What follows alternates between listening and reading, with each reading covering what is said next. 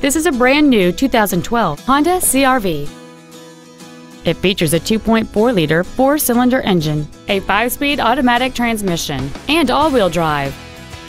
All of the following features are included. A power moonroof, XM satellite radio, cruise control, a leather-wrapped shift knob, a passenger side vanity mirror, a security system, front fog lights, traction control, air conditioning with automatic climate control, and the heated seats can warm you up in seconds, keeping you and your passengers comfortable the whole trip.